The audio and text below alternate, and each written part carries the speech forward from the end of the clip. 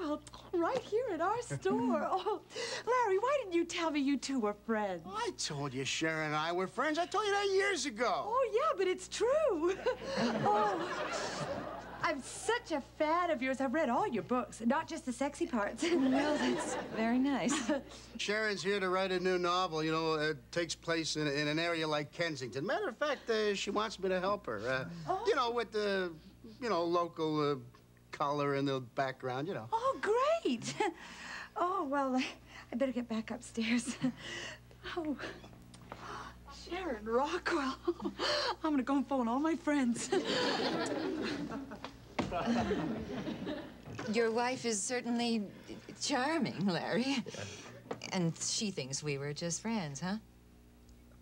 Well, that, that's all that, that we are now. Yes, that's what we are now.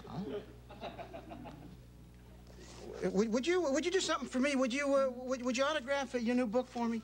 Oh, of course. Say, yeah, can I use my old pet nickname for you? Oh yeah, sure, whatever. Okay. To Pudge.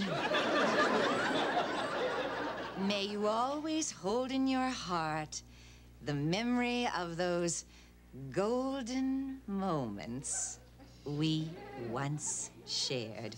Love, Sharon. Oh,